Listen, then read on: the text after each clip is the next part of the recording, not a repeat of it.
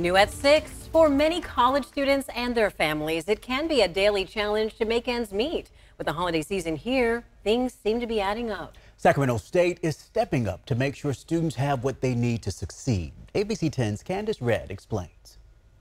Sacramento State is tackling hunger. We wanted to do our part as uh, the dining provider on campus to provide resources to students who are facing food insecurity. The university gave away free grocery kits to 500 students on campus Wednesday. So there's different items, there's canned items, there's fresh produce, there's grains. Students also got a booklet filled with recipes and cooking demonstrations. It's helping me out a lot.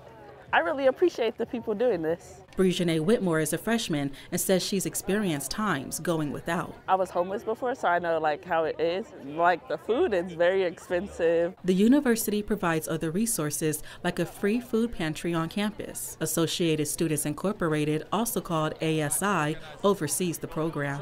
They give out those non-perishable food items. They give out hygiene products. Um, so what they've been seeing is actually 40% of our undergraduate students are experiencing food insecurity and at least one in 20 students are utilizing the food pantry weekly. It's really good to see people just trying to help you out. Jasmine Sanchez is a freshman too and says she appreciates the university's efforts. I feel like it's a good opportunity for people, mainly because a lot of the time it's pretty difficult to get groceries depending on what type of budget you have. They are loved here on this campus and that we're doing everything that we can uh, to support them.